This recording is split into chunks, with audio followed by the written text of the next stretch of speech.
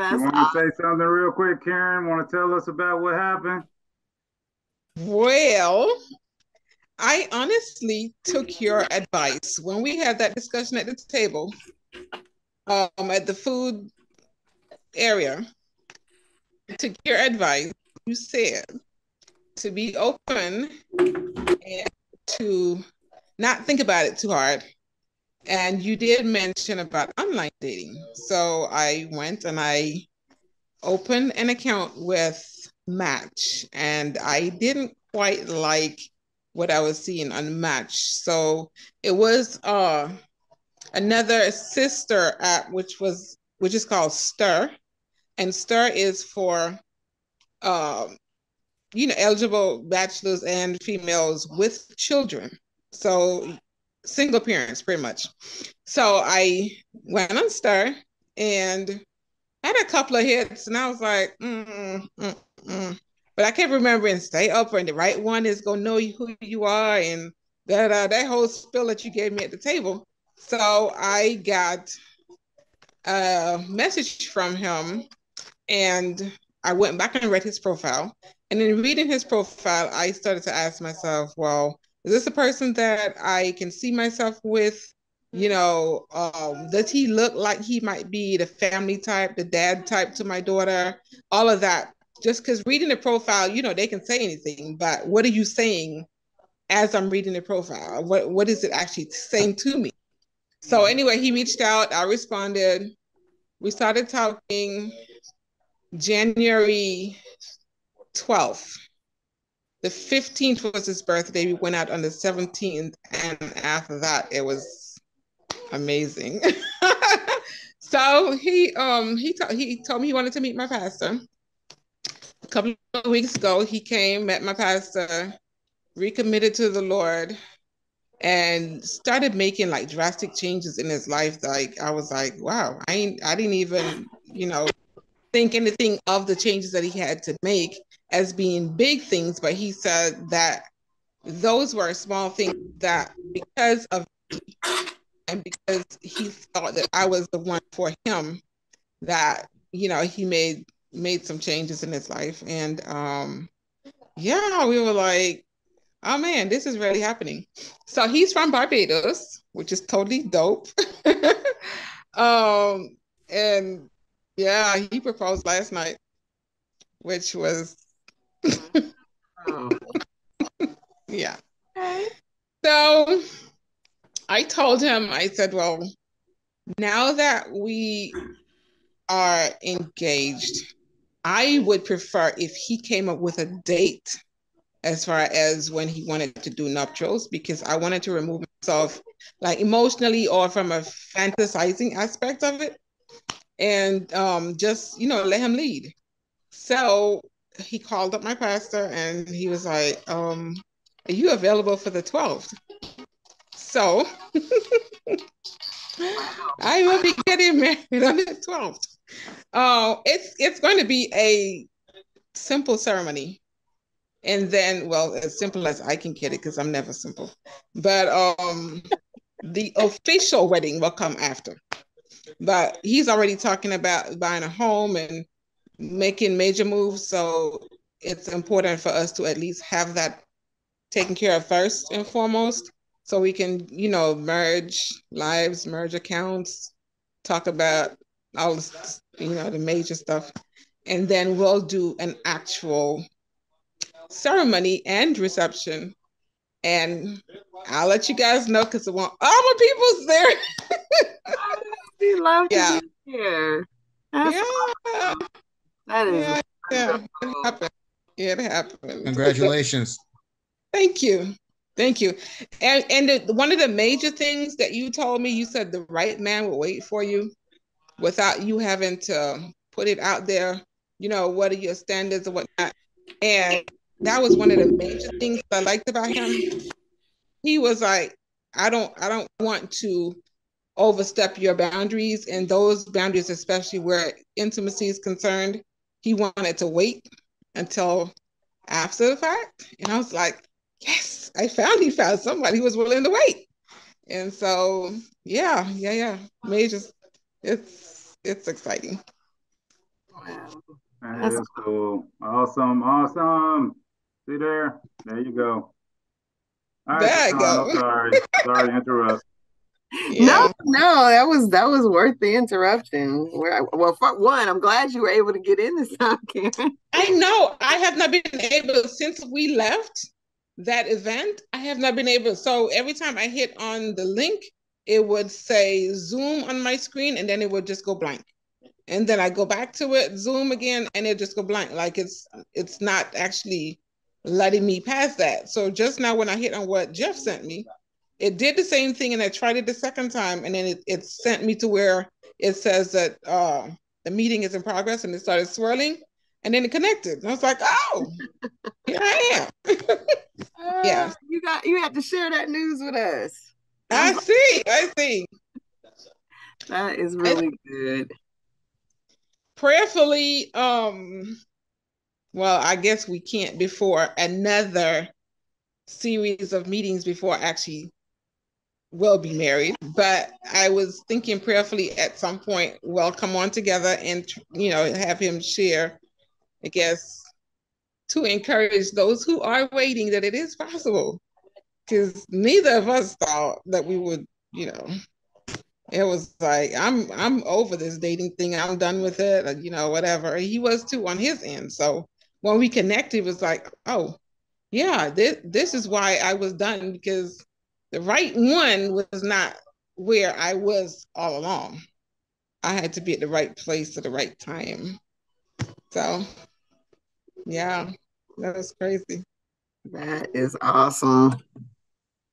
And um I did hear that the advice helped, so that's great. but what what everybody heard what Karen says, be open. Be open. Yes, it it did it helped a lot. Um it helped a lot. I even went back um to my instagram page where he said to take your your pictures your personal stuff down that you don't want the wrong people attracting themselves to. I even went and did all that. I was like okay let me take it down i don't want all these other guys in my inbox and this that, and the other. And so once i did that i started to you know see a different approach. But the whole Stir thing it happened quick. And when it happened he was like, okay, why are we on there? Because I was getting ready to close it and he was getting ready to close. He was like, let's get off. We have we've already found each other. At 54 and 46, it's like you already know. So yeah. And that's why you guys got to clear your stuff out. I've been talking about that. Some of y'all been doing it. Some of y'all know y'all holding on to junk, and y'all know y'all got to release it. You know, so God can make a move. But I'm excited for you, Miss Karen. I'm excited, excited, excited. And like I said, we love to see wedding pictures, engagement pictures, send them all here. And we one day will get Mr. Sean Williams, who's awesome with the computer, to maybe even make a little website collage or something where we're going to put all of them up to show what God is doing. Hey Karen, I would love to do that. I can make y'all a little wedding, I can make y'all a little wedding website. I I, I actually would would love that help, and I'm in the I'm trying to find a photographer because it's sort of short notice. Where, where, are you, where are you located? I'm in Georgia. Which part? Um. Well, I'm in Griffin, but the wedding is in Riverdale. It's in Riverdale at my church. Okay, so you're in the Atlanta area. Yeah, Atlanta. I tell you what, we'll get offline. We'll set up a date. I'll bring my camera. We'll come take some pictures, and then we'll do a little wedding um, website. No way. Now, now listen to me carefully, Karen. Listen to me carefully. I'm going okay. to do this for you. Go and ahead. in return, you and your fiance is going to give CSC a nice little video testimonial type documentary for about 20 minutes. Good. We're good. All right. E- even even without the photography, we're good with that because it, it it's a testament to what God did. Because I could not have done it, and He could not have done it separately. It's it's God actually did that. So yeah, I'm open to that. All right, I'm going to put my email in the chat. Send me an email, and then we can go ahead and get started and get that set up. All right. Okay. Cool beans. All right. And congratulations again. All right. Thank you. Okay, that was awesome. Great timing too. so um, I'm gonna go ahead and share the presentation. All right.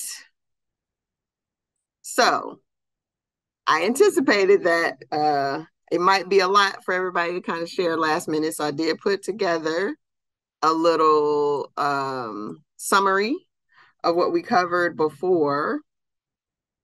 And um, so, first one was what is emotional intelligence? And that's just knowing, understanding, acknowledging, processing your emotions. Um, it seems very simple, but we're kind of socialized to suppress our emotions. And um, so it's simple until you start actually consciously doing it, and then you realize how much you don't allow yourself to uh, express, feel, um, and and understand about your own feelings. And then also, it's also uh, acknowledging the feelings of other people. So not just everything that's going on with you, but then also seeing outside of you how other people are experiencing things, especially when it comes to how you are relating to them, how you're communicating with them. And then um, being able to process your those feelings without judgment. So not feeling bad about how you feel or even necessarily uh, feeling good about it, but just actually experiencing those things for what they are and understanding why you're having the feelings that you're having. Um, so you're ha- able to understand yourself better. Okay. So, part three. Um, we're going to focus on change today or how to change. So it's once you start to connect to those emotions and sit with them and understand yourself better, there may be things that you realize about yourself that you don't like um, as far as well i don't like how that affects me or how this thing controls me or how i'm fine until such and such happens or so and so walks in the room and then i have a reaction I want to be more in control of my my feelings, my emotions, my choices because your choices come out of how you feel about things.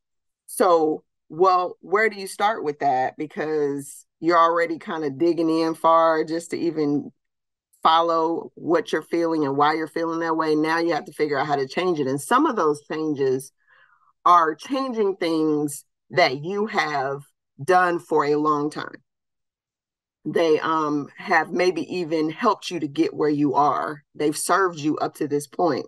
So they're almost like a good friend. So you were saying okay you want me to let go of that? You want me to step away from that?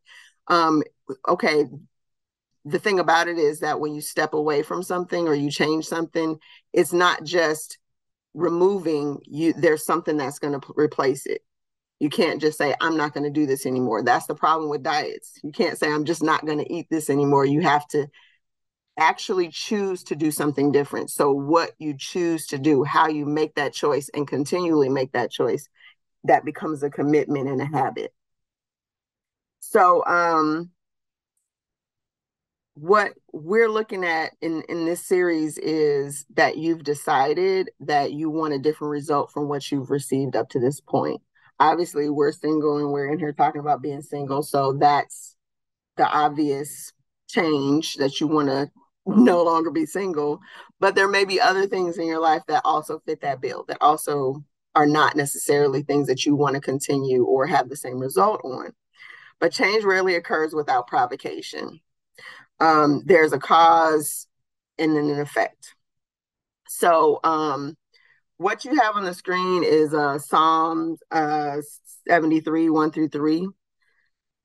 And it's the whole psalm is awesome, but I just wanted to focus in on the first three, um, the first three verses, which uh, is truly God is good, even to such as are of a clean heart. But as for me, my feet were almost gone. My steps had well nigh slipped, for I was envious at the foolish when I saw the prosperity of the wicked. So, why did I choose this scripture? Because one of the um, reasons sometimes that um, we have found in our in our walk is actually seeing other people being blessed in their mess. And you're thinking well i'm really doing everything that i believe god wants me to do. I'm being obedient i'm you know i've t- stopped doing the things that i know are, are wrong. I'm really you know doing all the things that i think i'm supposed to be doing or i believe god is leading me to do. And yet nothing's changing. I'm not being blessed with these different things. Um or sometimes it, like it's just it seems like everything's happening to everybody else and you're just kind of stuck. And um so it's hard not to look at that and start to feel like well you know what what am i doing wrong or what's wrong with me? Why is it that i'm not receiving these things that you feel like you um, have done everything right or everything you should do um, and they're they're doing nothing right and somehow they're they're finding their person and they're getting promoted and they're getting raises and they're buying houses and cars and all these different things that are happening um, and you're still struggling um, but wherever happens you always have to go back to that first part truly god is good and um, so, although things may not be happening in the moment, doesn't mean that they're not happening. Well, even though you can't see, let me say it that way, even though you can't see what's happening, as Karen was just saying, things are happening. It's just that it, you haven't seen that it happen yet. Um, so don't believe that because it hasn't made itself evident to you that things are not occurring. And so we want to be ready for what God has for us. We want to be in the best position to be good stewards of what God blesses us with. And part of that is a big part of that is our character and how we show up in the world and how we handle situations. Um, and so we're going to go through some different aspects of change that um, you're probably going to pick up a little bit of all of it that you know maybe can be helpful to you um, so second peter 1 3 through 8 is truly the foundation of emotional intelligence or emotional quotient um, it is the cornerstone of this series and um, so if you guys have been in many of my presentations, I do, don't like reading to people, but I am going to ask you guys to read along. I put the whole thing up here so you can read it. And the reason is because it is like everything that you need to know, really. Um, so his divine power has given us everything we need for a godly life through our knowledge of him who called us by his own glory and goodness through these, he has given us his very great and precious promises, so that through them you may participate in the divine nature, having escaped the corruption in the world caused by evil desires. So, going back to what we were just looking at in, in that psalm, for this very reason, make every effort to add to your faith goodness, and to goodness knowledge, and to knowledge self control and to self control, perseverance, and to perseverance, godliness, and to godliness, mutual affection, and to mutual affection, love. For if you possess these qualities in increasing measure, they will keep you from being ineffective and unproductive in your knowledge of our Lord Jesus Christ.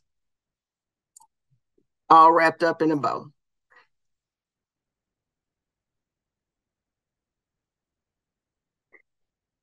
So, um, if you're going through this series and you're kind of trying to stay focused or you're trying to reconnect with things because it does, as Lakeisha was saying earlier, it does take you on a journey of thought and connecting to things that you didn't even think necessarily were uh, an issue or were kind of like, okay, I got that checked off the list. I don't even need to look at that anymore. And God is going to stir up in your spirit things that, like, no, you can do better in this area, or this is something that's holding you back.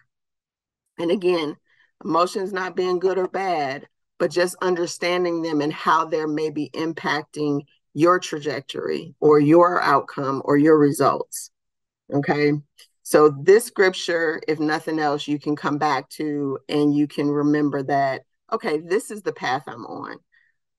Uh, adding goodness, knowledge, self control, perseverance, godliness, affection, and that being a final point of love. Not just love romantically, as we talk about all the time, but love of yourself, love of others, maybe even some people that you have written off. You don't have to write them back in, but you can find a way to maybe let go of some of the things that you've held on to from those experiences. Okay. So, that being said, um, you may be thinking, okay, this is all good, you know, scripture is good, the word is always good, but how does this actually relate to my everyday life? Like, what am I actually going to be doing? Give me some tangible things I can stick my teeth into. Um, and again, it's a lot to to dig into and self-reflect. But um, Anthony Clark, who's a life coach, he um he has a really great way of looking at things. So um i have a couple of clips from him. This is the first one and this one is uh really on kind of where to start with the change. Oh wait a second. I just realized something. Wait a minute. I didn't share with the sound. Let me see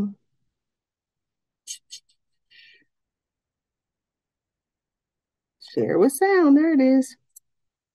All right. I caught it right before I started. All right. You got to stop blaming everybody else and start looking at yourself. Yeah. And so I started doing my inner work. Okay, so what does that look like? Because a lot of people say inner work, Inner work. but I don't know what be working inner. You know what I'm saying? You gotta tell me what that means. My inner work was to be honest with myself and to look at how I was, how I thought, and to start questioning is this really benefiting me? Why am I being like this? Why do I act like this? Mm-hmm. And the tendency for a lot of people is to be like, well, that's just the way I am. But I knew if I stay the way I am, I'm not gonna get to where I wanna be. Mm-hmm. Amen. So I always say, like, to go there, you got to grow there. You're on this level, you're always trying to get to high levels of understanding, enlightenment, wealth, you name it. So how are you going to get to those other levels? They ain't going to come to you. You got to go to it. So I got to expand and get out of my old way of thinking and being. So that was that was a lot. I'm gonna play it one more time just so you can catch like the second part because the first part is already a lot, but it's quick. You got to stop blaming everybody else and start looking at yourself. Yeah. And so I started doing my inner work.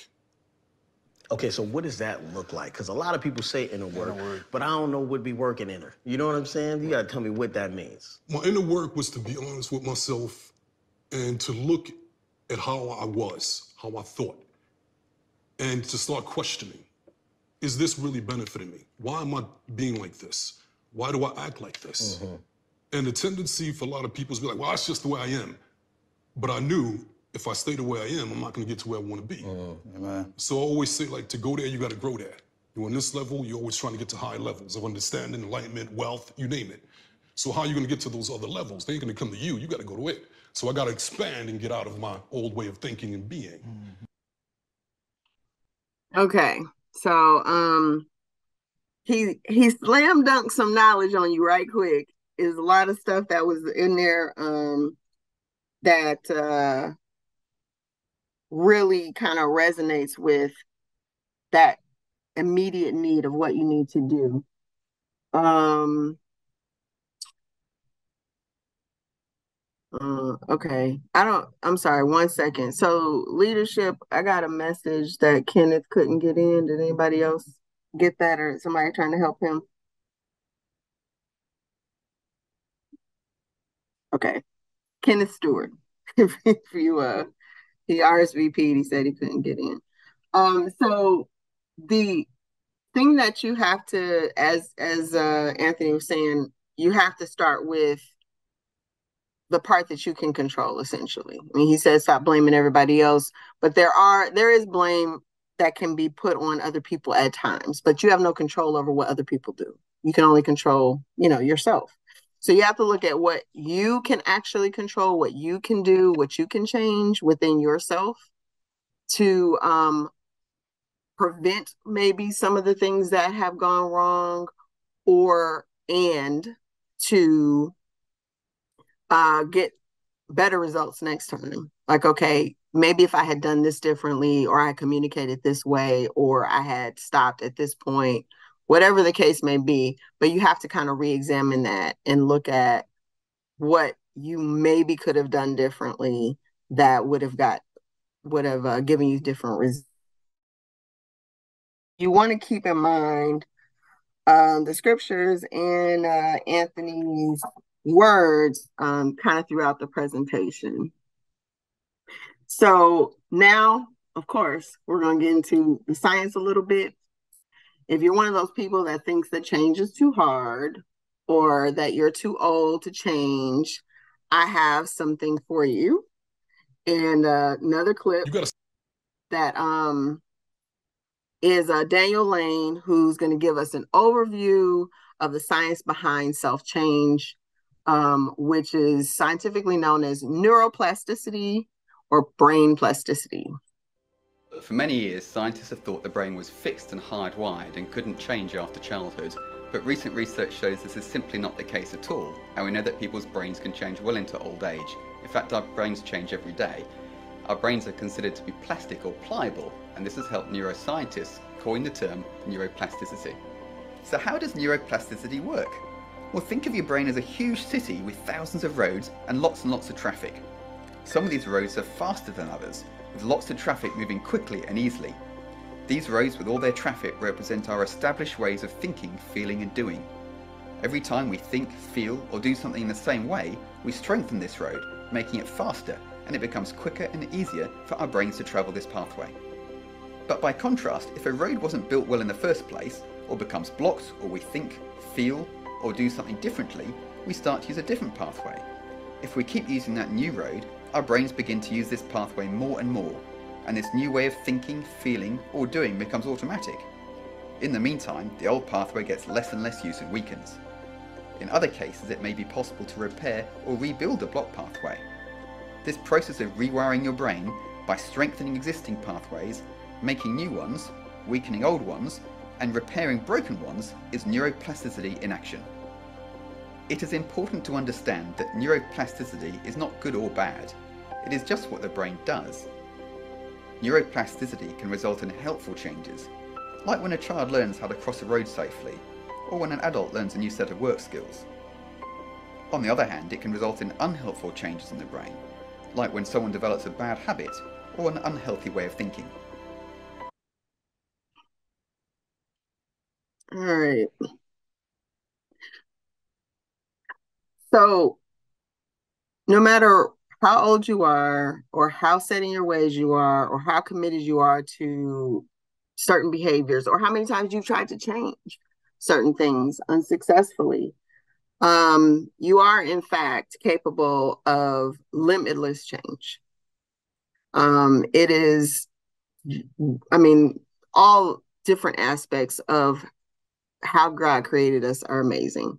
But our brain is the most astonishing um, example of his creation as far as not just what we're capable of within ourselves, but the fact that as God created, we have the ability to imagine something that doesn't exist and actually create it in the world. So, that being said, your brain is as limitless as the universe, but you must develop the ability to journey into its outer reaches, as in your brain is only as complex as you choose to make it. You have, it's just like, you know, your muscles, you have to exercise them to grow them, your skills, you have to um, practice or to educate yourself to be able to be more advanced at what you do. You might know how to do something, but you can do it better. So it's really completely within your control alone. On how um, far you can go within yourself and within your capacity and your abilities. The limit is not something that's inherent, like, oh, you know, this is as much as my family did, or my mama or my daddy did, or nobody's ever done. You have the capacity to go as far as you are willing to push yourself to go. So, um, what does that really mean? Well, it doesn't really matter how big the world is if you don't have a way to get past the block. if you can't, you know, it's great that, you know, there's other continents, but if you don't have a boat and you don't have a plane, how are you going to get there? Right? So that's what it means to have that capacity or that skill set, that work that you put in is those are building the bridges towards your ability to expand your um world and your skill sets and therefore your um, possibilities. So um, it's not just career advancement, it's not just uh, advancing your knowledge of yourself, but also in your relationships. The more you know, uh, the more you grow. Your skill set, your growth determines how far you go in all aspects of your life. And that's within your control to decide how much investment you want to put into yourself. Um, the investment in yourself always pays back in dividends. Um, but too often we put a lot more of our energy into others and not enough into us.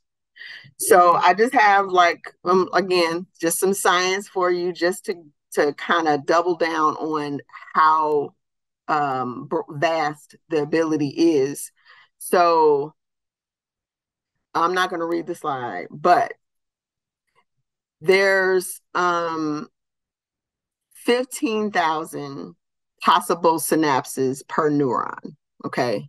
So each one represents the the connection that your brain makes to do anything. You have uh, an inordinate number of neurons. 15,000 per means that as I said, nutshell, you're you don't have a limit on what you can accomplish, and we, according to science, generally use maybe 15% of our brain's ability in our you know regular lives. So there's a lot more that you're capable of. You're not going to like you know blow out your brain or anything. It's not going to be a situation where it's too much.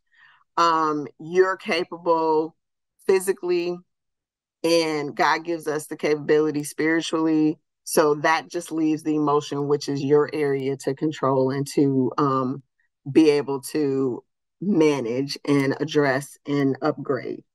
Okay. So as uh, was was being said in the video with Daniel Lane, that they used to think that when you're a child, you developed all of these abilities um, your brain kind of grew to its point almost like how you, your body grows. And once you become like 20 some years old then that's it.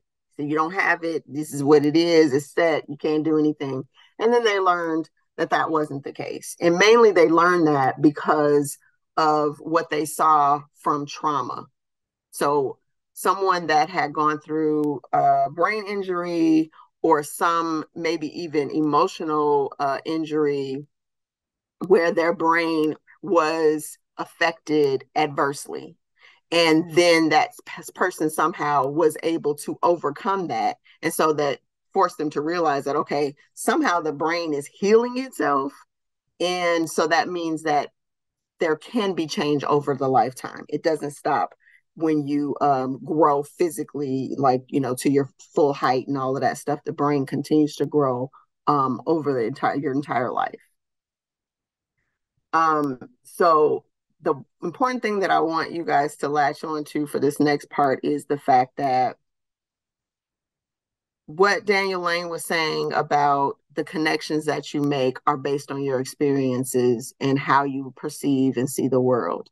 So if you had bad experiences as a kid or even as an adult, you have established connections that could b- cause you to see the world and to choose to react to certain things in a way that isn't necessarily in line with what's best for you um like not trusting or uh having a fear of abandonment or um of someone taking advantage um various different things that you can automatically think and then start to go down that road of thought process of protection or fear um, or defense that isn't necessarily appropriate for for the situation but it is what you have learned and unless you make a conscious decision to unlearn it or change how you respond you're going to continue to respond that way.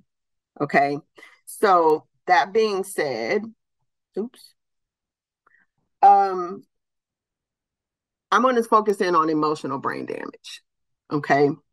And that essentially as i said it can come from childhood of having you know bad experiences um, from abuse all the way to just neglect or abandonment like a parent just didn't want to be a part of your life. Um, sometimes it's uh, older sibling bu- bullying.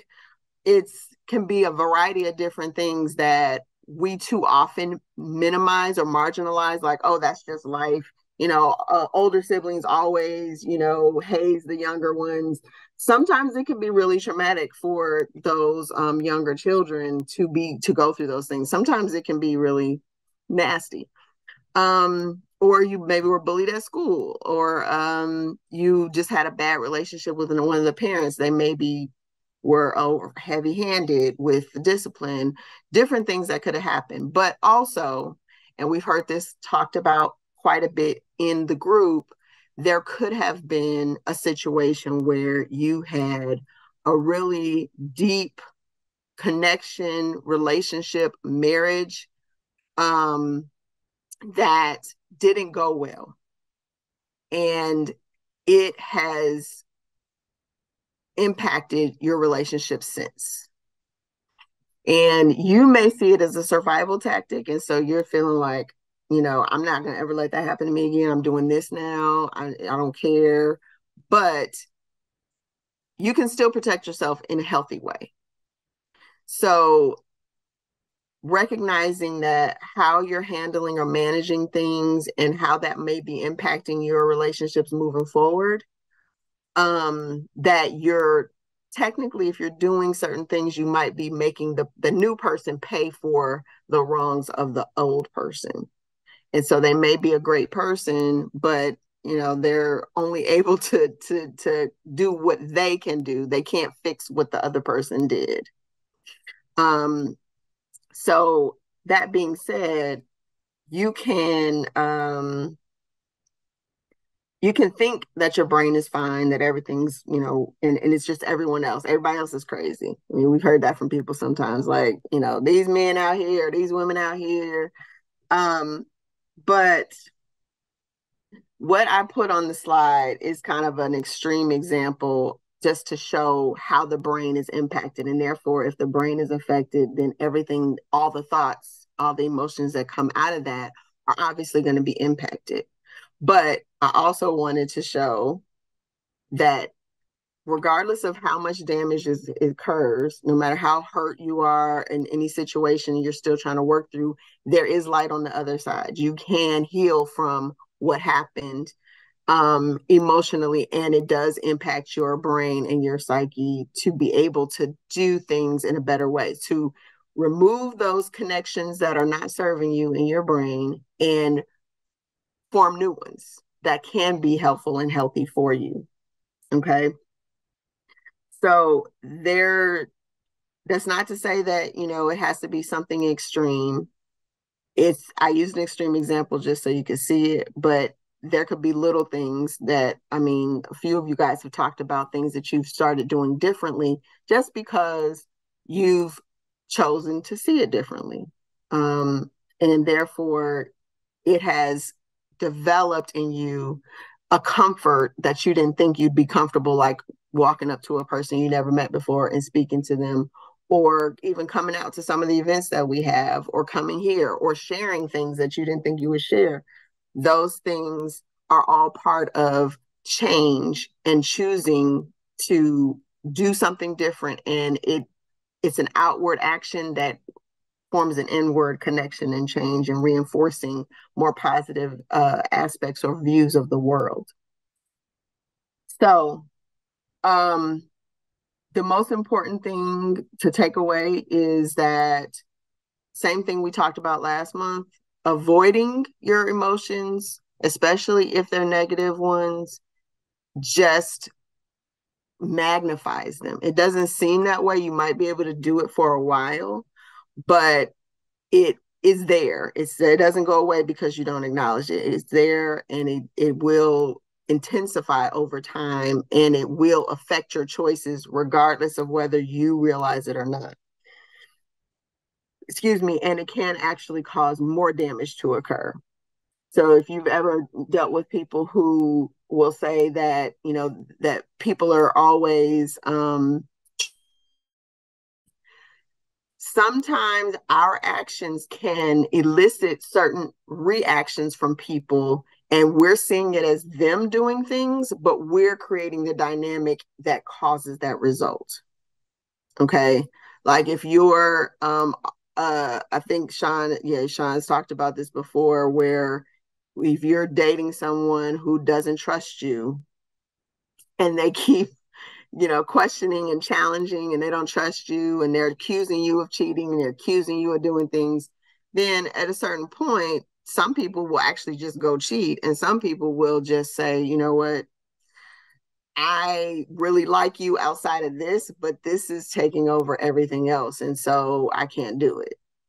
And um so that that person on their side of it they're feeling like it's them. They're doing this these things and that's what went wrong with the relationship when in fact it was their overprotection of their uh, heart their feelings that caused this person that might have been a great person to end the relationship because they just couldn't deal with it anymore. Um, or they couldn't be happy because they were constantly trying to defend themselves against something that they hadn't done.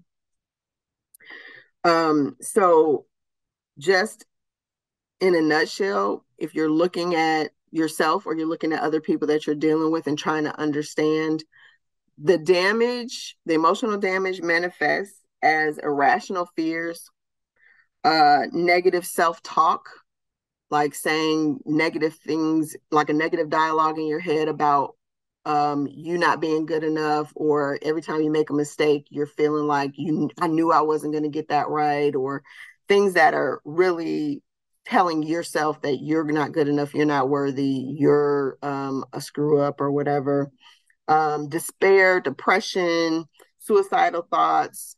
And then when you look at the relationships that people get into, they can often be codependent um, or even toxic. So um, if you're seeing those things, you don't, I don't say you can't, you know, not be friends with a person, but I would not get into a relationship with a person that are exhibiting those behaviors because they need to do some as Anthony said, some inner work. they need to work on some things. Otherwise, it's going to end up po- possibly causing you damage in trying to help them, almost like trying to save a drowning person at a certain point.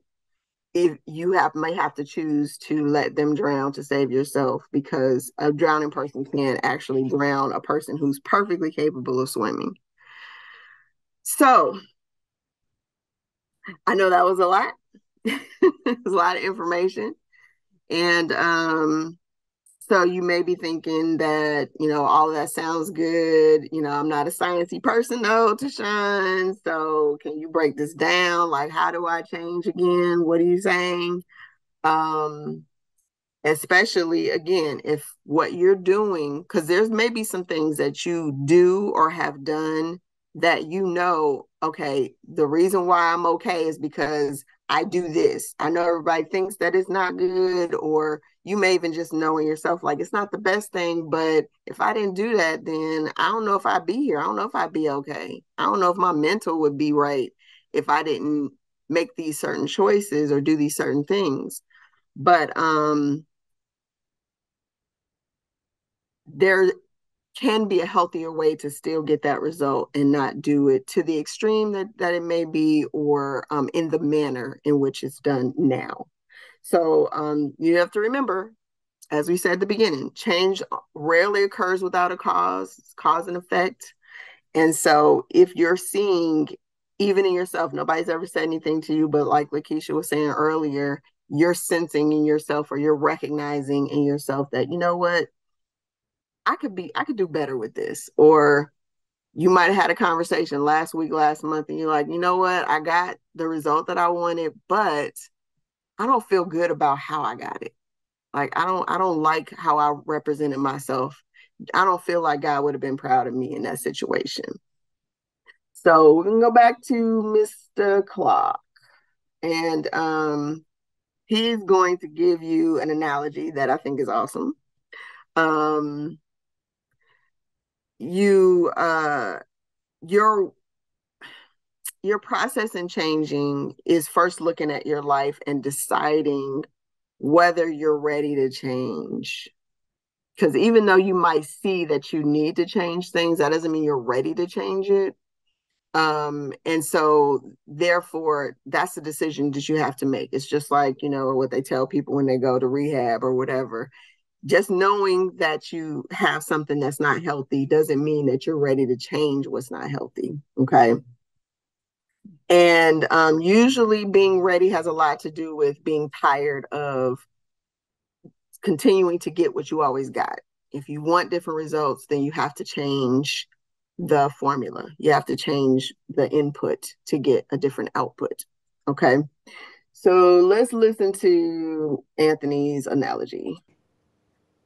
So I compare it to a pantry cabinet. And everything in that pantry cabinet has been there throughout my entire life. The salt shaking. These are all my beliefs, all the things I was programmed to be and this and that. But it wasn't working for me. Mm-hmm. But I didn't really realize it. Then one day there's this traumatic event. The marriage, the divorce, the shooting, where there's an earthquake and everything gets knocked over. Mm-hmm. And so that's the breakdown. Now you lose your identity. Who am I? Like you. It forced me. Absolutely. That catharsis. The system breaks down when it takes too much pressure. Mm-hmm. Eventually, it's going to break down. But it breaks down to give you an opportunity to rebuild it back even better. So with my catharsis, it was like, okay, what most people try to do is to go back to what they were. Mm-hmm. So let me put the stuff back in here, but you're going to get the same life again. So I was like, you know what? No, this is a great opportunity. I have the opportunity now to create the life I want to live. Mm-hmm. I want to be who I want to be, not because of what other people expect of me. I'm going to be my true self. I'm going to spirit mm. within. Yeah. So that connection, because that's the internal guidance system where everything you need, all the answers, it's going to come from there. God, whatever name you want to call it. Mm-hmm. So most people trying to get it out there. It's not out there. There's nothing out there for right. out there. It's in here. Mm. So if you don't go within, you will go without. Mm-hmm. Guarantee you. I like that. So what I started doing was, was I started putting this pantry back. I wasn't trying to recreate the same one. I wanted to create a pantry that I loved, a pantry that I was proud of. And so I'm putting stuff back, like, what is this? Dude, this shit ain't good. I don't need that. Let me throw it out of the way. What right, is this? Right, oh, right. this is, oh, I don't need that. What do I want there? I want this there. I want that there. So when I was done, I rebuilt this amazing pantry cabinet, an amazing life that I loved. And so the marriage and that, I did the same thing with each situation. And I came back better and stronger. Yeah. yeah. That's amazing. So, you want to have a cabinet that you're proud of or a pantry that you're proud of. Um, and that's really just about all the things that you choose to have in your life and removing the things that I mean, he, the, the the sniffing and smelling something bad is a perfect example. Is things in there that you know you need to clean that refrigerator out. You know you got some stuff that's growing in there that needs to be thrown out um, or that is um, just not good for you anymore. It might it might be something that served you before or that you could do before because you were young and you had different goals different objectives but you know if you want to be healthy you can't um, keep eating the same unhealthy foods. You have to, you know, choose to throw out the unhealthy things and um, replace them with you know, good green leaf vegetables and fresh fruit and lean meat and all of those different things. Um, and that is a process. It's a journey, it's a process, but um, again, investing in yourself, it pays dividends always. There's always a return on the investment in you. There's no better place to invest your best but in yourself. It blesses you and it blesses everyone that you come across, whether they're in your life for a moment in a line or for a lifetime. Um, so here's 15 strategies for positive change. So these are 15 things that you can do that um actually will kind of step you through making changes in your life. So some of this we talked about already. Don't look at your feelings are good or excuse me, observe the ripple effect means observe how not only it affects you and therefore now because I'm feeling this way, I am talking to people this way. I'm doing these things. I'm making these choices. Um, and possibly even when you're dealing with a person, if there are others involved, like they're witnessing it or they're connected, they it may affect your relationship with them, even though you they weren't part of the interaction with that person. Um, leaning into the discomfort is if it, it doesn't don't don't feel like oh well i don't like how this feels so i'm just going to avoid it or i'm not going to deal with it allow yourself to be uncomfortable because the other side of being uncomfortable is understanding is change um allow yourself to feel what the feelings are in your within your body. We talked about that uh, last month. Your you have physical responses to your emotions. So w- when you're recognizing how your body reacts to your feelings, then you're quick more quick to recognize it when you're in situations where you know you're dealing. If you're on, on your own, you can take the moment and take the time. But if you're in situations with people and you're reacting because you haven't learned how to recognize your feelings, then it's only half done. So, meaning that, well, I know what I I know what me being angry looks like. I know how I act when I'm angry, but if you are in a situation and you're not taking that into that and saying, okay, I, I feel myself getting angry. I know that if I don't remove myself or I don't do X, then I'm going to respond in a way that I don't want to respond. That's that's the key. That's like the test. It's one thing to to be on your own and recognize things, but being able to in the heat of the moment, whether it's anger or sad or whatever, being able to pull yourself back and not just react to the stimuli of whatever's happening, that's the test of how much control you actually are uh, asserting over your emotions. Um, so right there with that, fit knowing what pushes your buttons. So um, we talked that first, what was it, January, about how there may be people in your life that know exactly what to say or exactly what to do to get you there. Like, I want them to do this. So, or if you're maybe doing something that they don't want to deal with, don't want to recognize, they know what to say to get you off of them. They know how to get, to deflect. They know how to um, distract you, and it's all about you being reactive and they're them the buttons being pushed. And um, sometimes, and I learned this from my personal experience. Sometimes we unwittingly can trigger people that then their reaction triggers us. So sometimes, and because you see them like not being that way with other people, but it's the dynamic you have with that person that causes this this toxic situation. um, watch yourself. So um, pay, pay attention to how you're reacting to things, how you're um, how you maybe are overreacting or are disproportionate in what in your response, and try to be objective. Like if if it wasn't me and somebody did this, or if it was done, if I was on the other side of what I've done, would I feel the same way? don't don't it's just you so you don't have to defend yourself in your own mind just be objective and and set set aside your own opinion um from your perspective and try to see it from the other person's perspective. Um we talked about journaling. Uh so don't be fooled by a bad mood or a good mood. That's about well just because you feel that way don't don't not think past that. Like okay i feel bad or i feel good but why do i feel that way?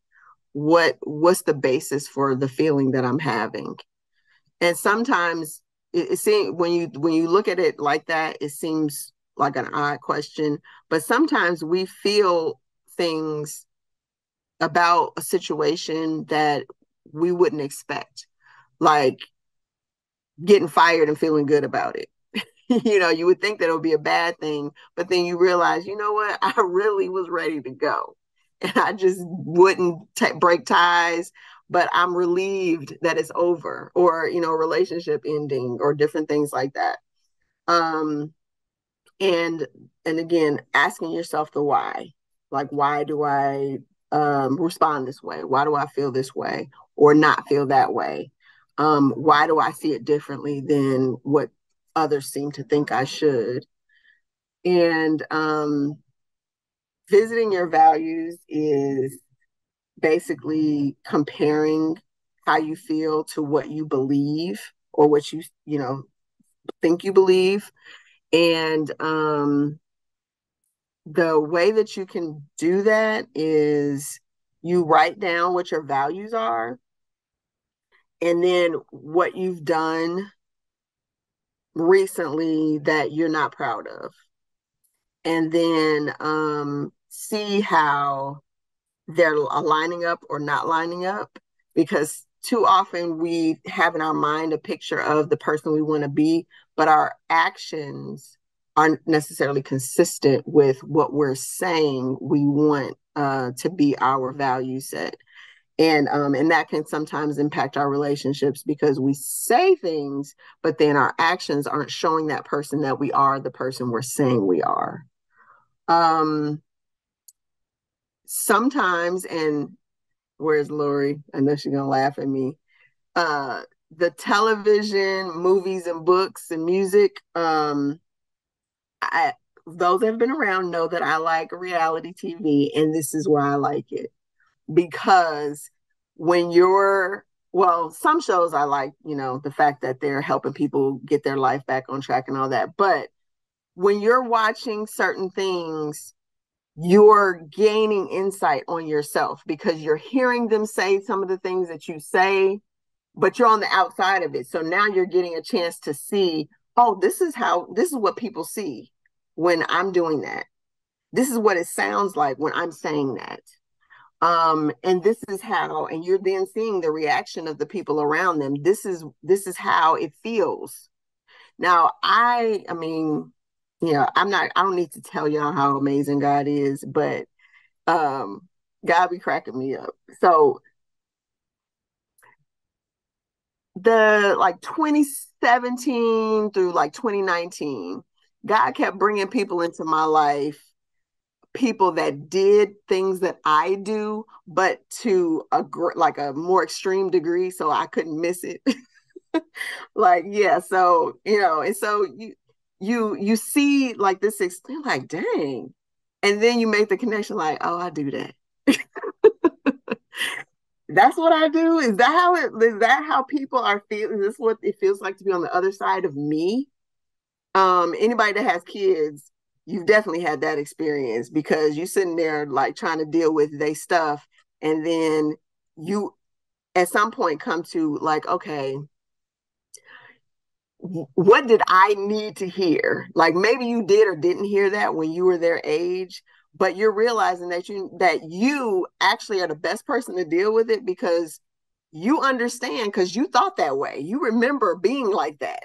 And you're like, what did I need to hear that would help me to not do what I did because I knew what I was doing. I had it all together, whatever. But um but that's what what you kind of can sometimes get from movies or or TV or different things is seeing your yourself from the outside how you're acting how you're presenting yourself things you're saying and what that stirs up in other people. And um and then recognizing how good or bad that might be as far as the result you may want to have or if it's actually representing you in the way you want to be represented um, so the seeking feedback, that's something you want to really try to get with people that you either don't care at all what their opinion is or you trust them very well. You don't want the in between for the simple fact that somebody that you have no, you know, like you're you're almost um completely disconnected from like you know they they're going to give you just an honest answer because they have nothing no skin in the game. They have no nothing to lose or to gain by saying something that's you know not true. Um and then if you really trust them then they are they're going to tell you what they believe is in your best interest you know so they're going to be as honest as they can because they you know, are trying to to help you. The gray area in between, I would stay away from unless you are really thick skinned. Um, because even when someone is trying to be hurtful, they can still tell you something that's helpful.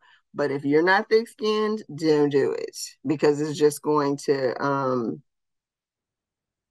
it's, it's going to probably do more harm than good. And um if you try it You'll find out if you're not thick skinned.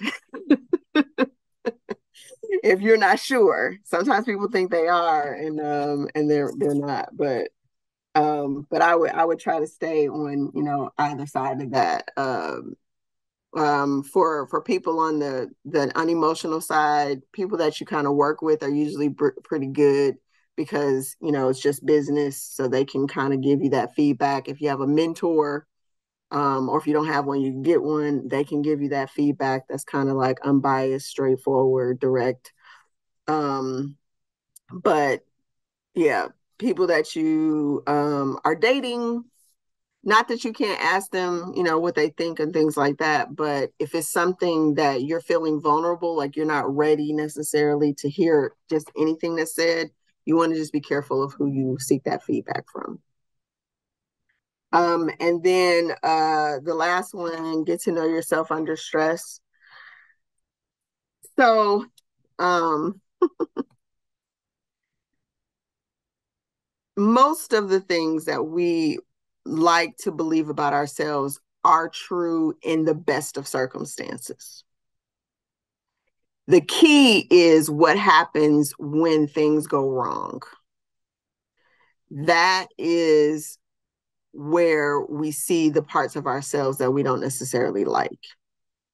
And it's up to us to decide whether we're going to handle things in a better way and be more consistent with the happy version of ourselves or the um the uh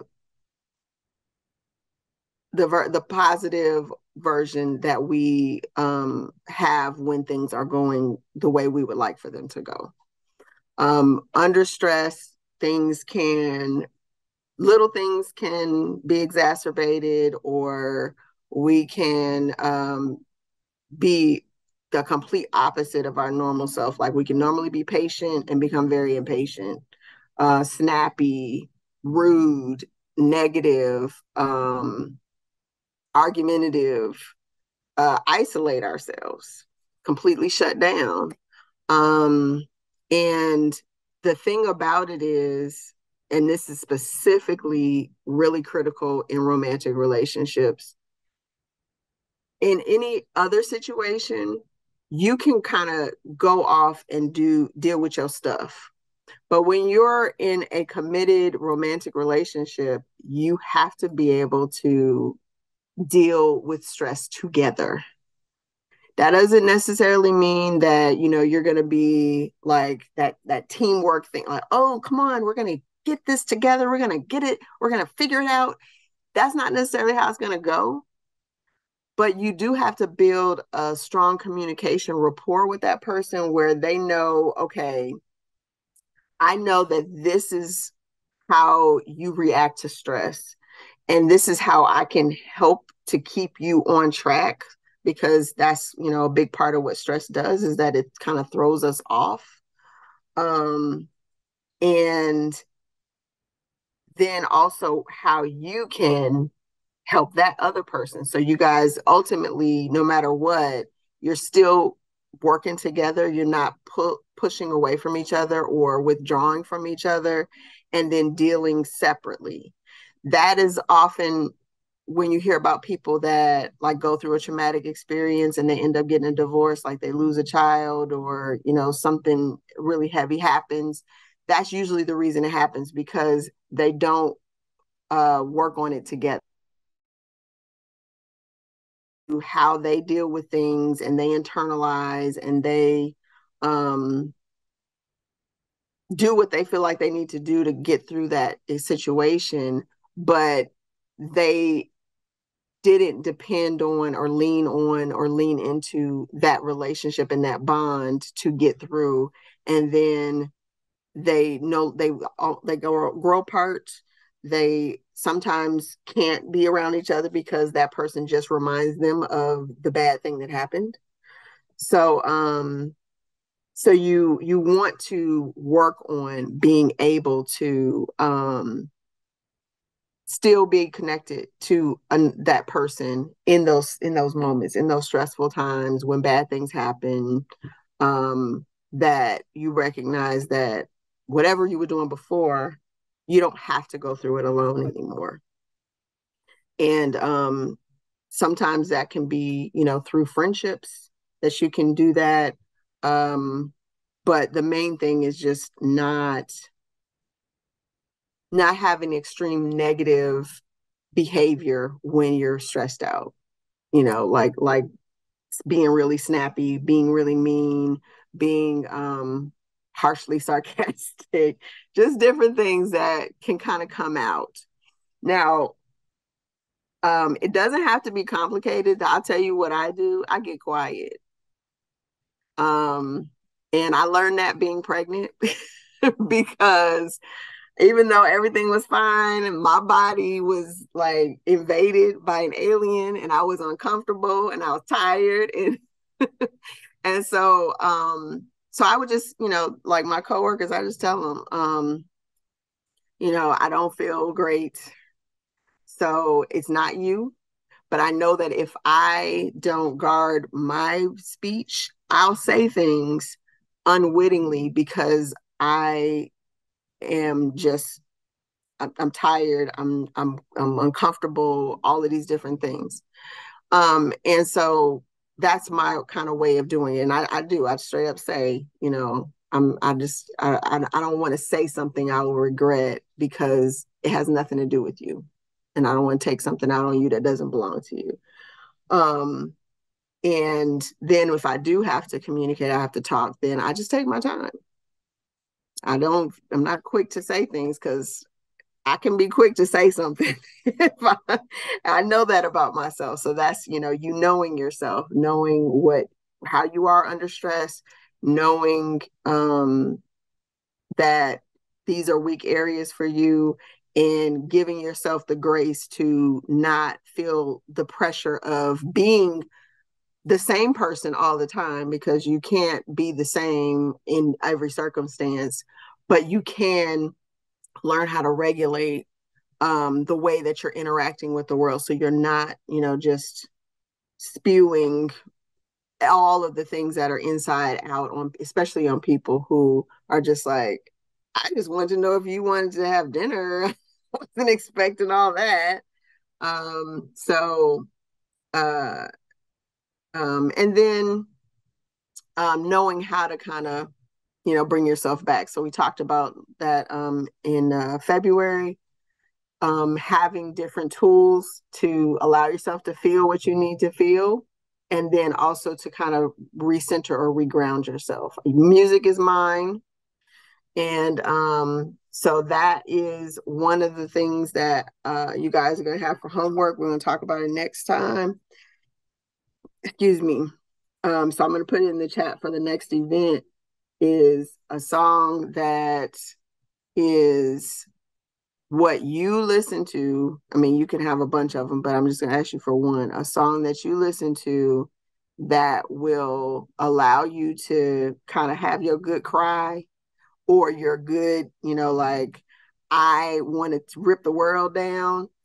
And then a song that brings you back to like, okay, I'm in my woosah. I'm like good. Um, you know, I'm I'm I'm comfortable. I'm at peace I feel all is right with the world. And those two those two songs, I mean, you got I, you, I got a whole playlist, but those those two songs you got to keep in your arsenal at all times because you might have to go into a meeting where you got some stuff they need to know, but you can't say it like that. So you listen to that song where you get all of that anger out, and then you go in there and you're very professional and you say exactly what needs to be said in a very professional way and everybody gets the message but they are not focused on how you're saying things or how you're acting but what you're saying because you've gotten that emotion out and now you can just say it and be very clear and be very um uh you can communicate well without the emotion because that's what people kind of they feed off of, whether they intend to or not. They pick up on the emotion, um, and then you know the having having something that can kind of bring you back to center. Where, especially if you have a negative self talk issue, you want to have something that reminds you that that's a lie. That's not true. I'm awesome. I am amazing because y'all are amazing. So, um, of course, Lori, I have homework. Of course, I have homework for y'all. so, uh, that journal or that notebook or that piece of paper that you had in January, um, and then again in February, here we go. So, this ties back to what we are just talking about with the 15 um, strategies. You want to start with um, your strongest or most extreme opinions or feelings and um, you're going to become a two year old. Anybody that hasn't dealt with two year olds, two year olds say why, why. Everything, every time you answer them, they say why again and again and again. And the reason for that is that you're going to have to dig down into the why of what you have kind of just kind of put a big bow on it. Like, I'm done with that. I know exactly how I feel. I know exactly what I think. If you don't know why you feel that way, and why the as it says on there um because it's not a reason that's just how i feel is not a reason um it is going to likely be because of something that happened or because of someone else so like if your mom or your dad or somebody else that you looked up to um had an opinion or belief or a feeling um that they were really adamant about that might be the why or something you experienced might be the why. Um, sometimes it's something that happened before you can technically remember, um, like that age one through five, well, zero to five, um, because we we remember things differently up until that point. Um, so you may not be able to get fully there, but um, most things you should be able to uh to tie it back to a person or an experience. And then you're really doing that the whole purpose of you doing that is to be able to own it that you're not just drawing in or pulling in things that don't actually belong to you. Because that situation that caused your aunt to feel that way and to be that way didn't happen to you and it has nothing to do with you. And so is it actually something that you should carry on um, dealing with that you know isn't actually your experience um, or if it's something that you developed as a child that helped you to get through your childhood you're not a child anymore. You don't have to live life according to the circumstances in which you're placed. You're the one that makes the decisions now not your parent or you know guardian or whoever. Um, and so you can choose to now make um, the change to say, okay, I'm in the driver's seat now. So I'm gonna give you guys a, a, like a really quick example, and then we're gonna be uh discussing discussing. So um, I realized in my 40s. so uh, I think I just turned 40 I um I realized I went back home. Um, God led me to go back home uh to my where my family lives because I don't nobody none of my family lives in Georgia. And it it was I started to have to revisit a lot of things that I hadn't dealt with. Um, that was the reason I left. So uh, one one thing that I realized was the men that I chose relationship with, including my my late husband, I chose based on their ability to protect me because I grew up feeling unprotected. And I didn't realize that the entire time, all, you know, whatever relationships, things that was going on, I didn't realize that until I started looking at the people that I didn't choose and why I didn't choose them. And the, despite the fact that they were great guys, there was nothing wrong with them. But I kept coming back to the feeling like they wouldn't stand up for me, they wouldn't defend me. Um, and then I was like, well, why do I need to be defended? Like I'm grown, you know. Um, not that that's not, you know, it's not that that you don't necessarily want that, but it's a difference between wanting something and needing something. And I needed it. Why did I need that? Because I still had that part of me that felt like I wasn't safe. And it was because I hadn't dealt with that from being a kid and realizing that, you know, that's over now. I'm not a kid. I don't have to just deal with whatever's happening around me and just trying to persevere.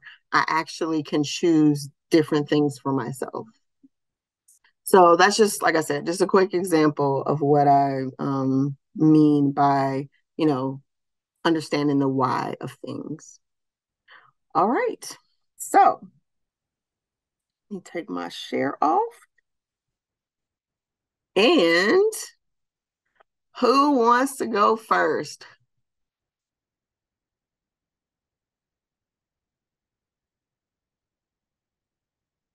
So Joseph put the recap video link in the chat.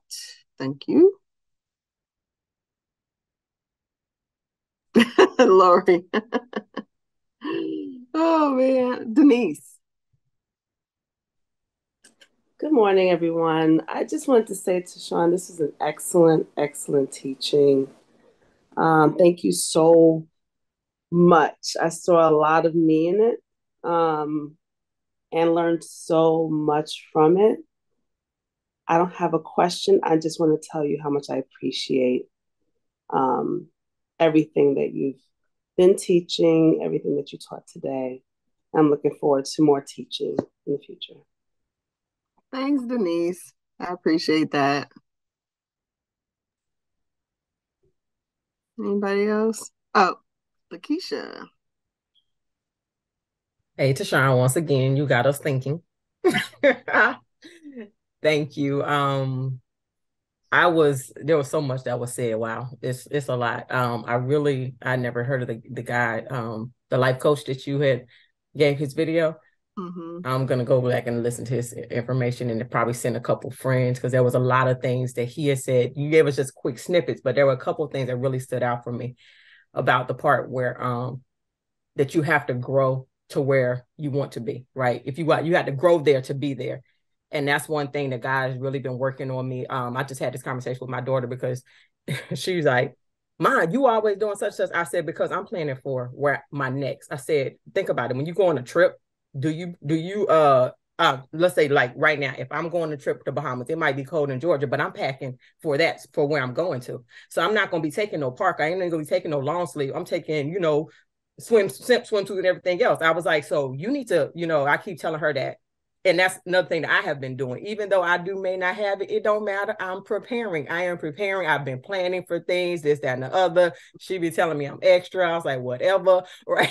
because I'm I am not staying where I'm gonna be. I, I mean, they, they my sisters and my my daughter, they're they're in their 30s, so, uh, so they just well, my daughter's not 30, she's late 20s, but they still be like, oh my God, you are so. But I'm trying to help them because God has showed me one thing in me. Another thing that He has said, there were several things that He said about how, because I've been that person would be like, oh, I'm this is just how I am.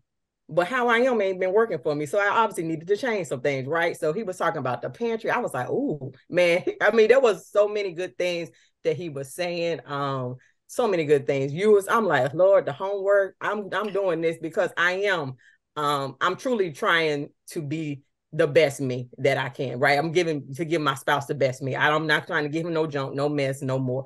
I, I've been checked on attitudes. You've been, like I said, there's so much in this series. You don't brought about the attitudes. Then I had to start listening because I don't be thinking I have an attitude half the time, but some of my family members be like, well, why you had to say it like that? I'm like, say it like what? And I had to say, you know what? If multiple of them are saying the same thing, then it's me. It's not them right so i have to start checking myself on, in areas but i also appreciate this teaching because i would have been still somewhere talking about whatever y'all get over it. This is how i do it right?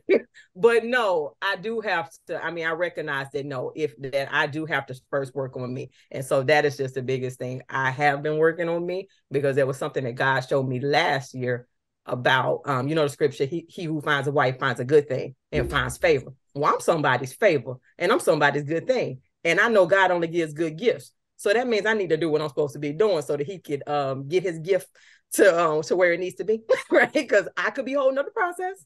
I I recognize that. So I do understand. Like like I said, I appreciate this because uh you always got a sister trying to go do some more work and seeing some things that she need to work on. So thank you, girl, for another good uh lesson. I'll let Sean go and put his little words in now let me let me let me say a couple of things about what you said, Lakeisha. Um, one, uh, I don't know if anybody's ever heard this thing about you should dress for the job you want, not the job you have.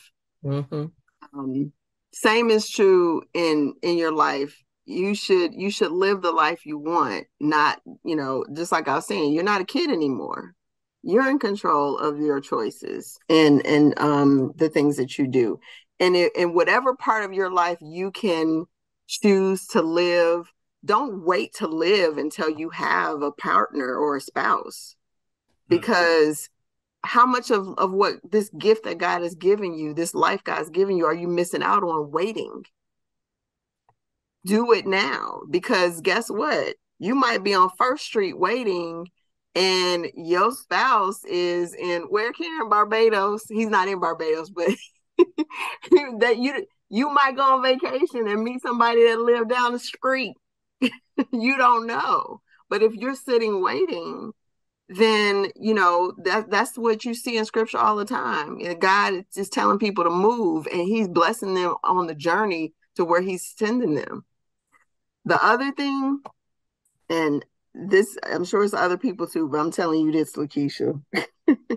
what I had to learn was I'm not thin skinned. I'm very thick skinned. Um, you kind of have to beat me over the head for me to realize that, oh, you trying to say something like directly to me that's ugly. Oh, I didn't realize. I just think you're having a bad day. Ain't got nothing to do with me.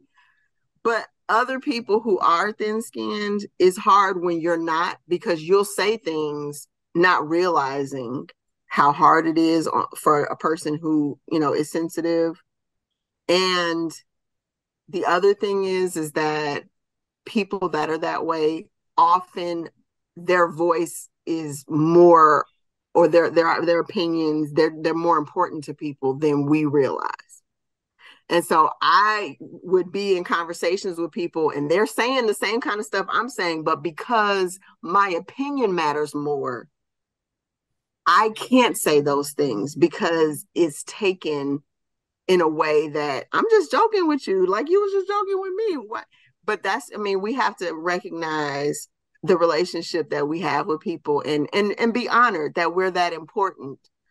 Um and you know just be more sensitive to oh, okay you know? So so i you know i've learned not to say things. I mean sometimes even to my own family where i can't like you said Lakeisha i can't say it because well if i say it then it means something different than if you know this other person says and they can just make it a joke. So um you you know have to kind of level set for the impact that what you say and do has on people based on how their level of importance they've placed on you.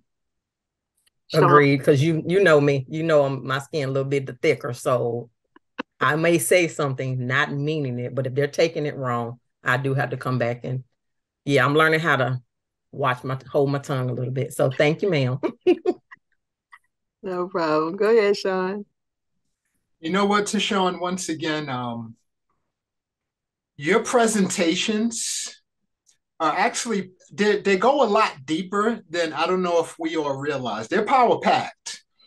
You know, you talked, there was a, a term in there called synaptic pruning. And I was thinking about that scripture and I had to get it. Um, where God says he cuts off every branch in me that bears no fruit, while every branch that does bear fruit, he prunes.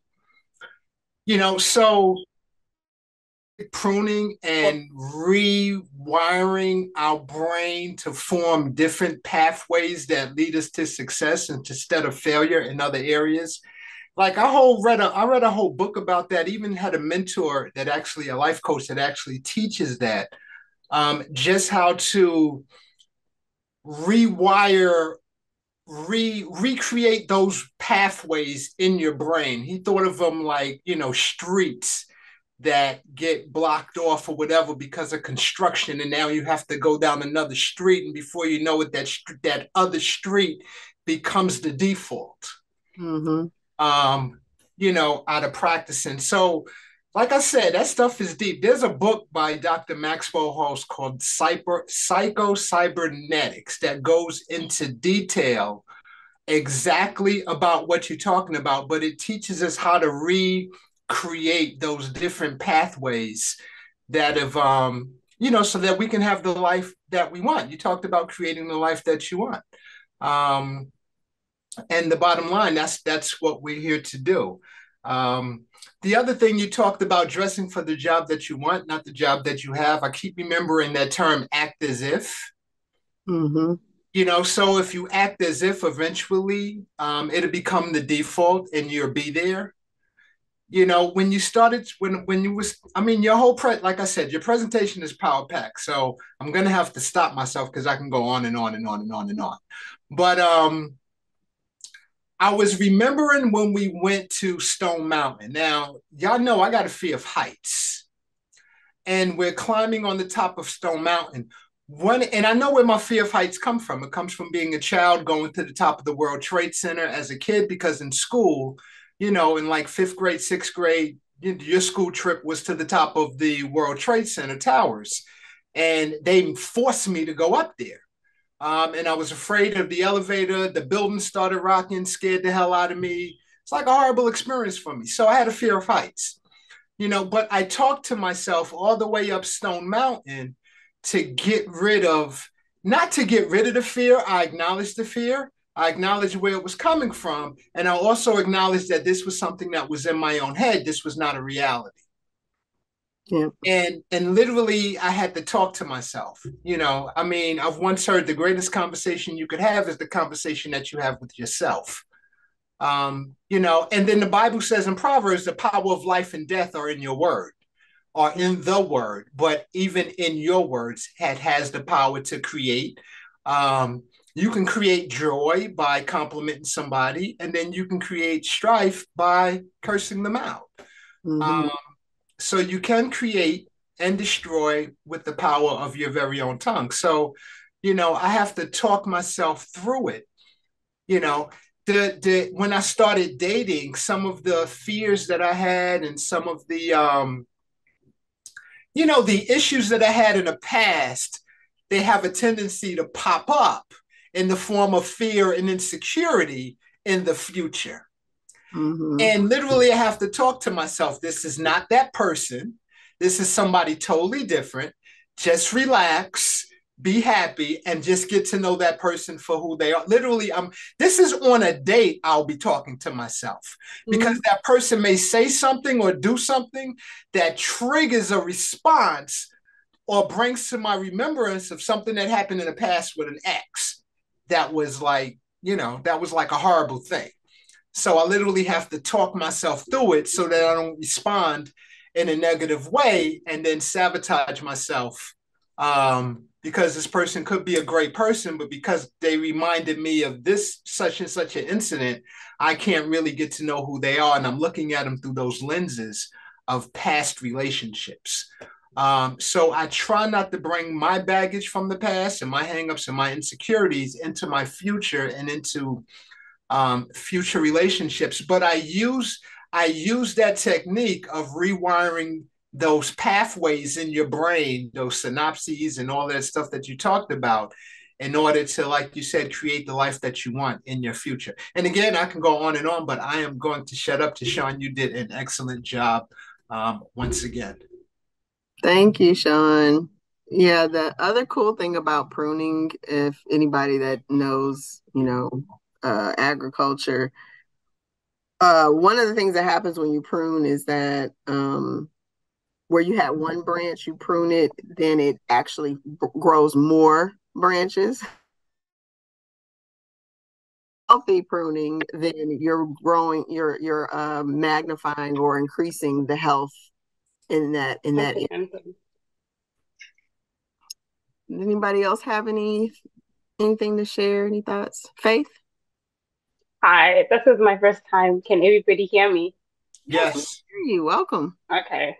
I don't sound very good because I'm fighting off a cold. Anyway, so this is my first time here, and one thing that I really cleaned on was the fact that um, the scripture that was used is actually one of my anchor scriptures, what keeps me going every day is knowing that I've been equipped and have been given all power to all to live all, in all godliness and all goodness and like experience the fullness of God and just anchoring myself in his word. And having said all of that, there's a lot of things that I need to work on because um, somebody mentioned this about um about this being a journey. It's not a one time or one recipe fits all type of thing. There are a lot of things that I need to work on and it's asking the right questions. The what why am I how is this whatever I'm doing, how is it serving me? Or how are my actions benefiting those who are around me and what kind of ripple effects they have. So those are the questions that I needed to um, I didn't think about it until I had this session. So this has helped unlock a lot of things that I need to work on, obviously. And um, sorry, just continue um, like improving and digging deep so that I know that um, I'm a healthy and I'm, healthy in my relationships with people. And most importantly, what is inside of me or what has been poured inside of me is able to reflect on the outside. And that's basically me just taking the time to do the work. Awesome. Thank you, Faith. And thank you for sharing. I hope you feel better. I know how miserable it can be, especially the weather's been like hot and cold and hot and cold. So, yeah, we'll definitely be praying that you uh, get better soon. So, uh, Calvin, you're very quiet today. I'm not used to this.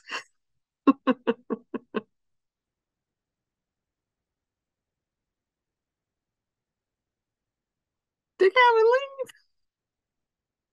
He probably spent some more. I think he was trying to unmute himself. He'll be back in a minute. oh, does anybody else have anything they want to share? Here comes Calvin. Yeah, he must have got off. He must have dropped by accident.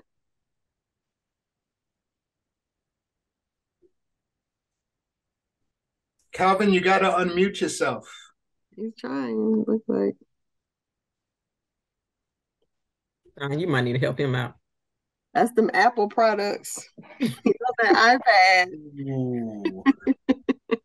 I'm with you, Tashawn. oh, anybody else want to share? Um, Rachel.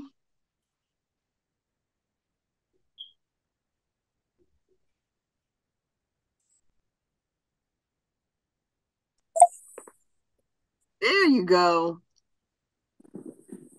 Ah. Am I that quiet? You said nothing, so that's that's pretty quiet in my book. Yeah, sometimes you just need to shut up, okay, and listen. But I'm hearing what everyone is saying. I what I do for myself every month, every end of the month, I do a self evaluation. Um, it, it, seems to work for me. Mm-hmm. Um, I, I would say it doesn't always work for me, but what I, I like to be in control of everything, well, as much as I can. Okay, and, and not try to be too emotional about stuff. Um, what you give me, I give back. positive or negative. I deal with the negative. But um, my previous profession taught me a lot of things. Um, patience, listening, and say the first thing that pops into my head. Because a lot of times that's a negative. Majority of the time that that's negative but but just listening, self evaluation. Um, but you do have to to prepare yourself. Here's a question I got through all this.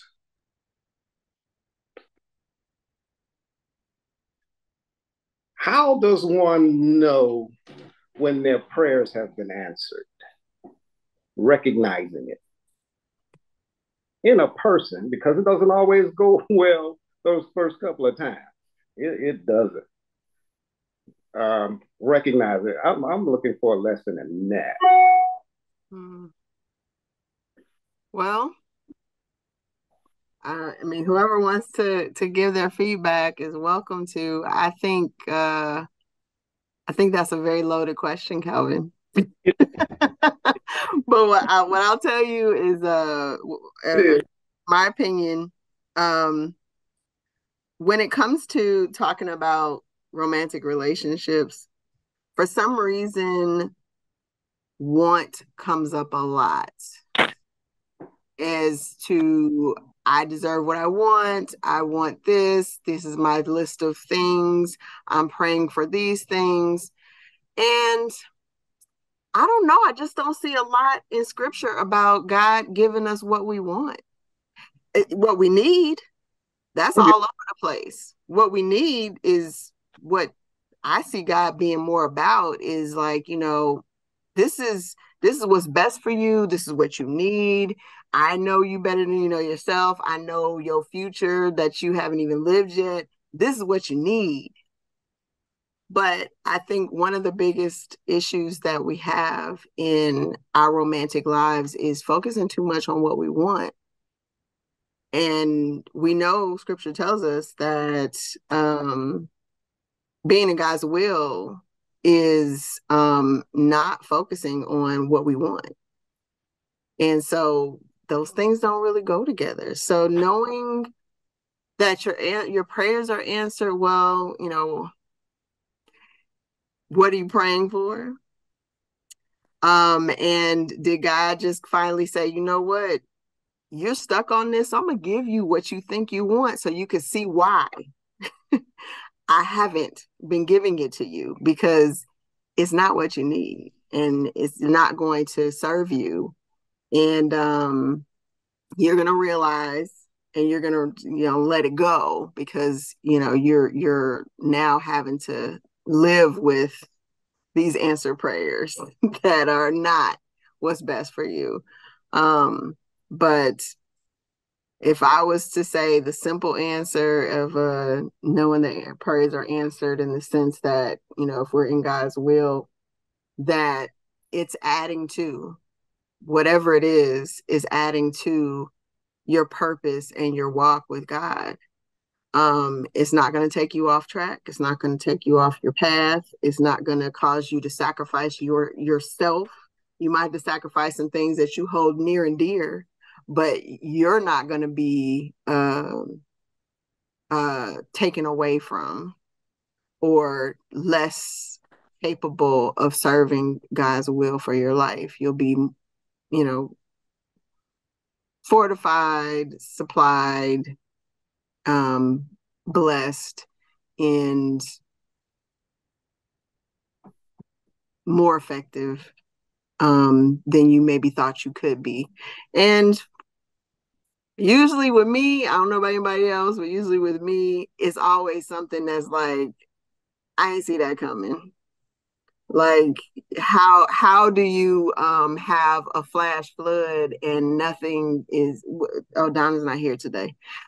How do you have because donna had a, a um pipes breaking her in her apartment complex and her apartment was the only one that didn't get any water damage at all. So it's you know it's things that if you told somebody they're like that's impossible. That don't happen. And you're like but it did. So you know that's that's God.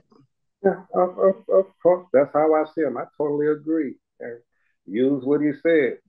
Even though there was a tornado watch up here yesterday in Acworth, you think I didn't use those words? Peace be still. Oh yeah. Um, and there was a common effect too. But anyway, but yeah, I I I, I agree with you. He gives us what, what we need and not what we want. So go ahead, ladies. I see hands up. Hey, Denise. Hey again. Um, so, Calvin, if you're referring to relationships in terms of answered prayers, how do you know? I want to piggyback on what Tashawn just said because it triggered um, the Holy Spirit brought to mind um, the the story of Solomon who I had an obsession with when I first came to Christ. The interesting thing about Solomon is that what he asked God for was wisdom. He could have asked for anything in this world, but he asked for what he knew he needed. And God said to him in response, not only am I going to give you wisdom, I'm going to give you everything else in addition to wisdom. I'm going to give you everything that this world has to offer.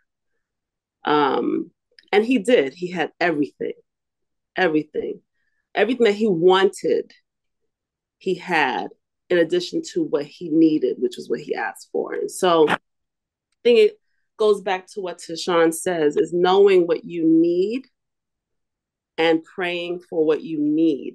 And I think a lot of us don't know what we need. We don't seek God for what we need. We seek God for what we want in a, in a mate.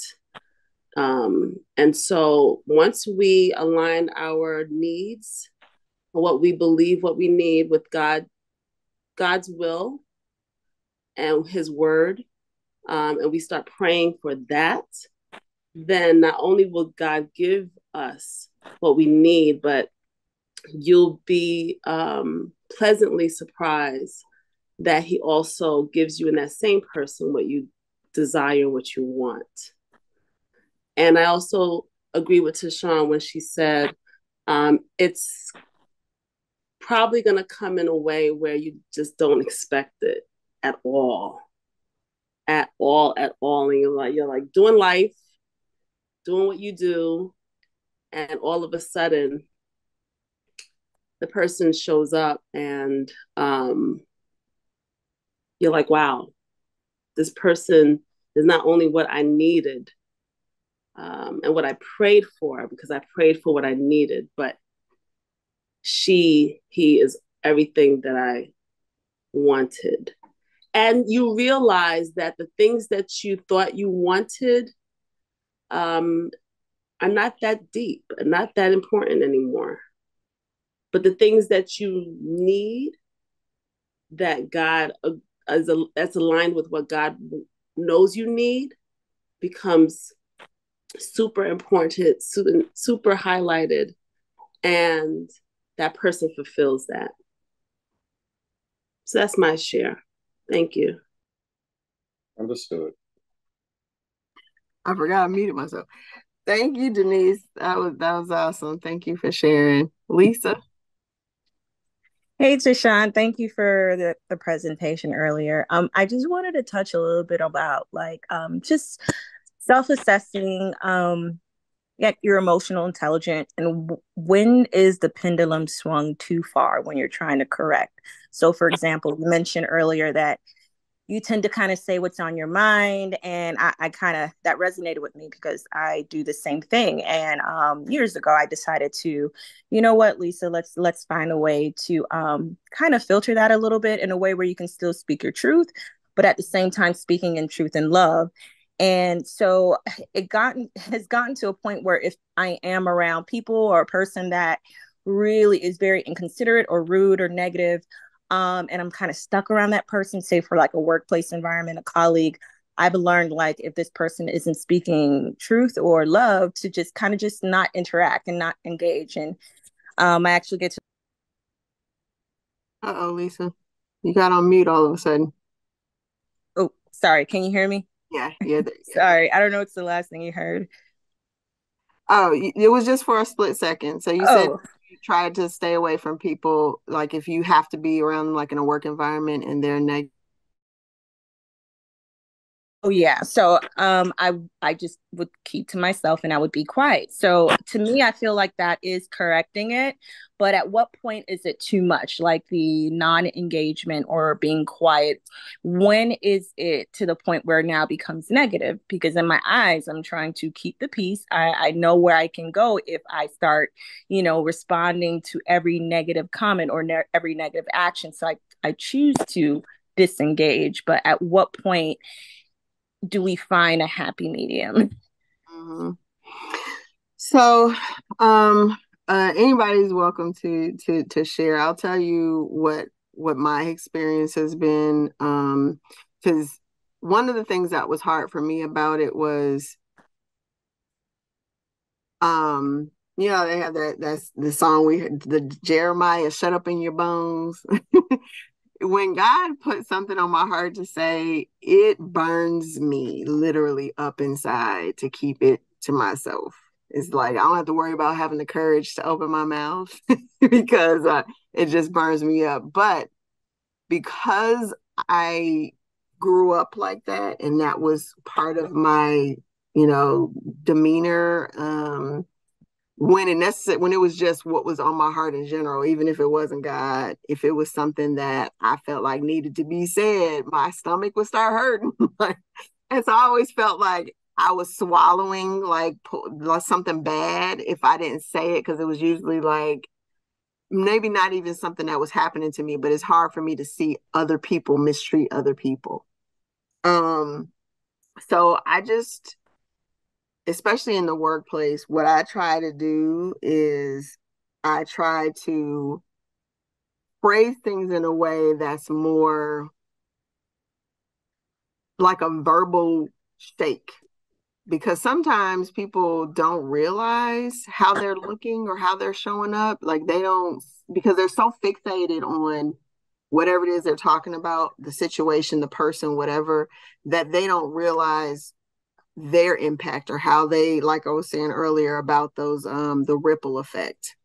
And so asking them a question that can like maybe they don't see it the way that everybody else is seeing it and you and not telling them but asking them makes them think about it and they they're like oh i didn't think about it that way. Um and it'll you know cause them to take to to pause and and to reassess. If it's not that way and it's just that they have been because i've been in that situation too where um, they now feel like they have license to have this behavior because no one has checked it. The people that are responsible like their supervisor or you know chain of command whatever has just kind of let it go.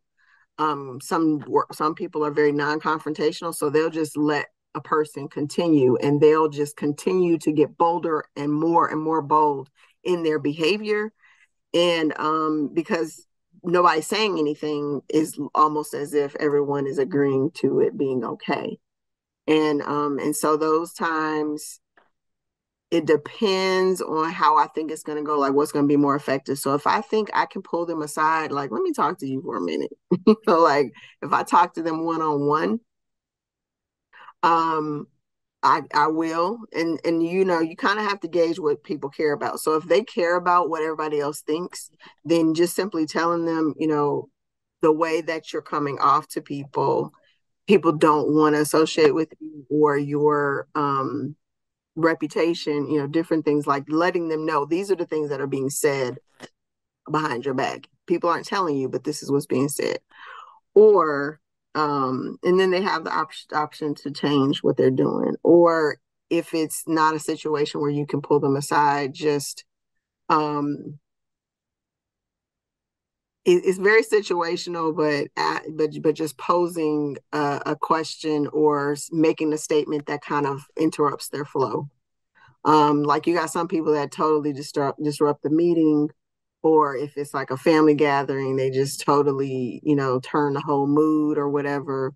And so sometimes just saying something it may not have anything to do with it may be totally off topic um, will just interrupt that flow of negativity with something that's positive or something that's redirecting everyone to something else.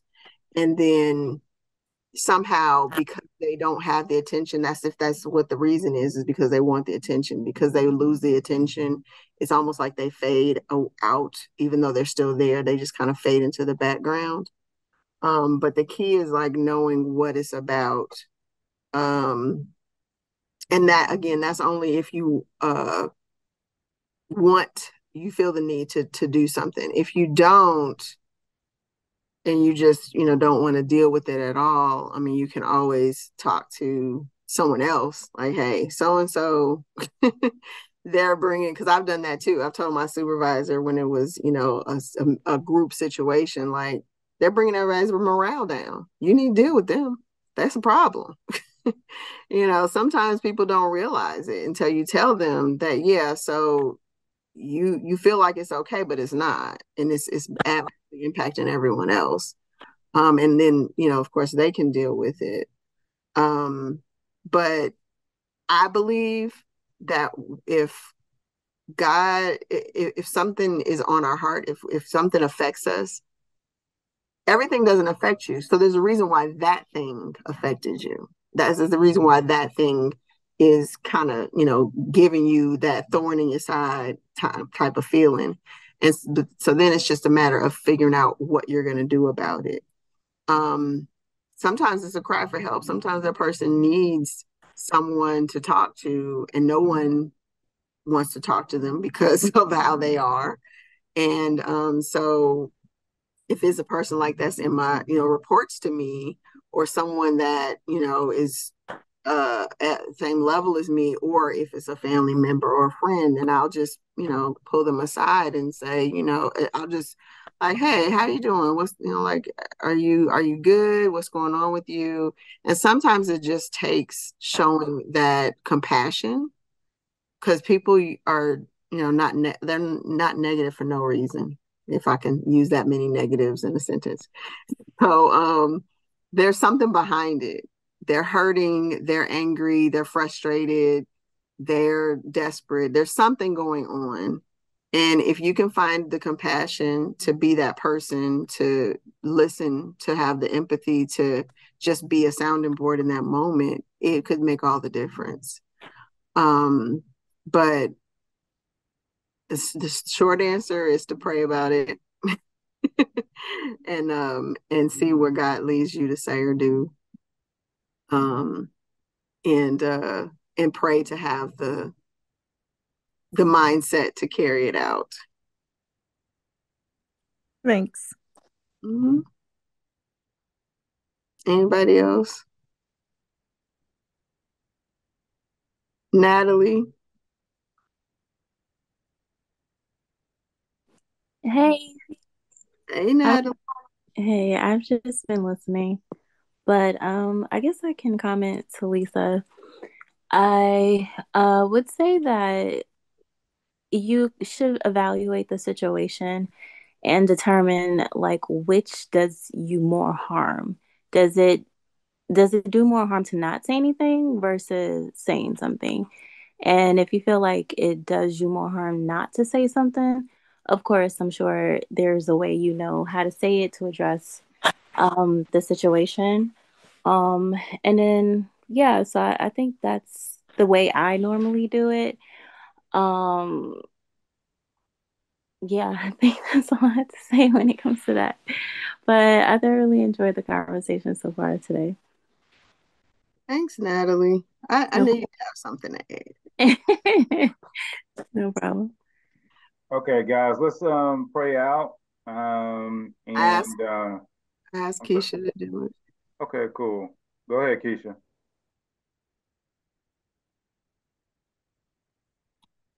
Well, maybe she can't do it right now. Okay, there she goes. Oh, me. Sorry. I must have missed that ask. Uh, no problem. It's okay. Heavenly Father, we just thank you just for allowing us to be here um today.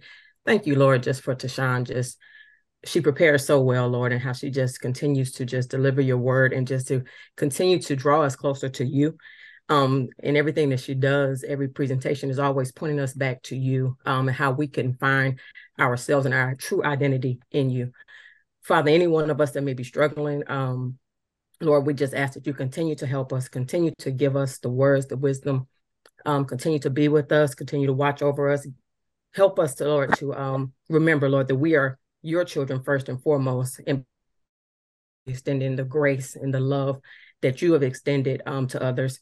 We know that in this world, we are going to have trial, but we know that you have overcome it. And because of that, and because we are your children, we know we take it to you that it's already done. Father, again, I just thank you just for allowing us to be here on today. Thank you, God, for watching over each and every one of us, um, even the ones who are not here. Keep them protected. Um, in Jesus' name, amen. Amen. Thank you, Keisha. Man, Thank you, Jazz.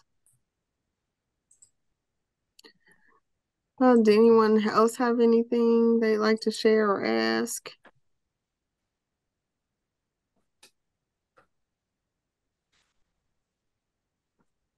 I do. Um,